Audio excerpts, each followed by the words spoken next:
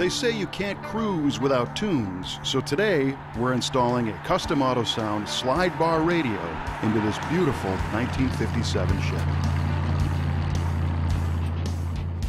One of the problems we run into a lot with an older car when we're modifying it or building it from the ground up is often the radio. There aren't a lot of aftermarket options that look right and still provide modern functionality. We want to be able to use our car like a modern car, uh, use our phone to play our music, maybe some other MP3 player, uh, satellite radio, Bluetooth for phone calls. And that's been a big challenge for a long time. You just bought some sort of universal uh, single DIN radio and cut a big hole in your dash, and that doesn't look right. Fortunately, Custom Autosound has developed a new line of radios called the Slidebar, which addresses these concerns. Each slide bar radio is designed specifically for the car that you're buying it for. That way it looks like the radio that would have come in your car. What slide bar means is the slide bar you used to use to switch between AM and FM on an older radio now flips a fake screen away to reveal the digital screen. This particular car is a 57 Chevy, uh, and it's very nicely restored. Uh, just about everything on the car is just like the car was when it was made in 1957. So putting a modern radio in this thing that didn't look appropriate would be the wrong thing to do. One of the problems with putting a modern stereo in an old car is the frequency range of the speakers. Uh, when these cars were new, a lot of them had just a single speaker in the dash, maybe a single speaker in the back package tray, and the speaker was relatively small. The problem with a small speaker is it produces high-pitched sounds better than low-pitched sounds. Custom Autosound has also developed something they call the system, which comes with a pair of tweeters and a fully enclosed subwoofer and amplifier all in a compact unit. The benefits of this are the bullet speakers look pretty good in a lot of cars, especially a 57 Chevy because of the whole rocket ship and bullet theme going on with the car. And then the uh, subwoofer and amp is small enough that you can fit it under the front seat.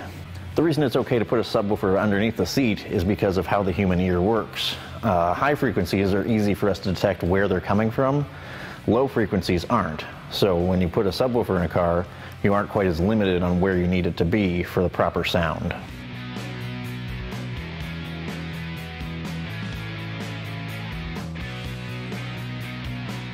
The last part of the equation in a good sounding stereo system is your mid-range speakers. Uh, Custom Autosound also makes kick panel speakers for a lot of popular old cars, including this 57 Chevy. So between the tweeters, the kick panel speakers, and the subwoofer, we'll get a high dynamic range and a good sounding stereo system. The subwoofer and amplifier that comes in the system is very compact, and initially it doesn't look like it'll do much uh, because of how small it is. Once we got the subwoofer and the slide bar radio installed in the car and tuned, the uh, subwoofer actually provides pretty incredible bass for its size.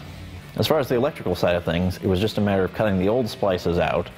Uh, in this particular case, the car had a recent set of rear speakers installed, so we retained that wiring, and then obviously our powers and grounds would hook up to the new radio.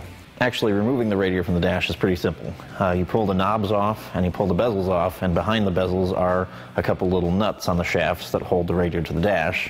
Once you remove those, there's still a bracket on the back of the radio holding the back up.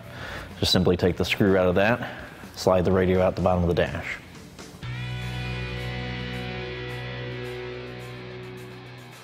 Um, as far as the new slide bar head unit, it's the opposite of what you did to remove the old radio.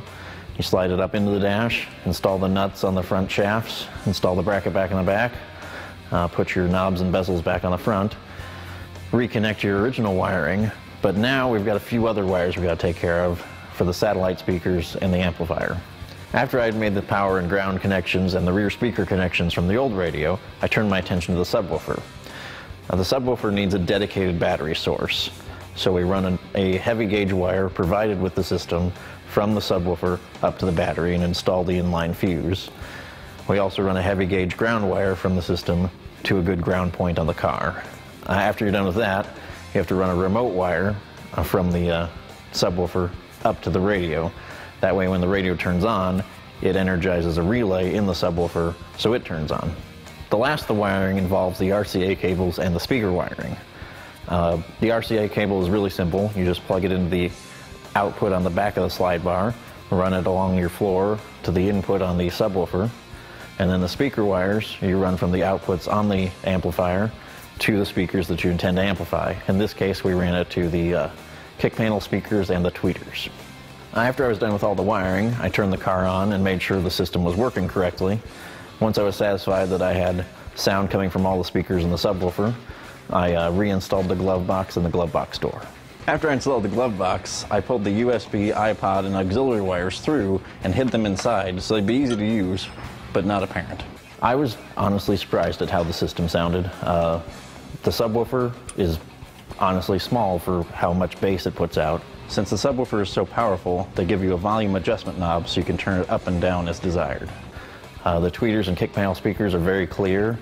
The range of frequencies between the tweeters, the kick panel speakers, and the subwoofer will allow you to hit just about any note in any type of music you may want to play.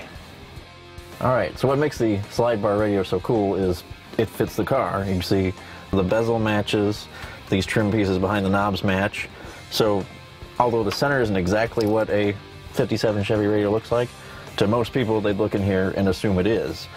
Uh, and what slide bar means is this is the slide bar here, and you see we have our fake AM band radio screen here. You slide that over, and inside is the digital screen. Uh, you turn it on by pushing on this one. Uh, it tells you it's a custom auto sound radio.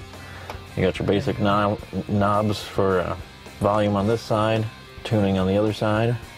Uh, the second knob back changes your bands, and uh, your second knob back on the other side goes to your auxiliary and some of your settings, your clock, and then obviously you've got presets like any other radio across the bottom.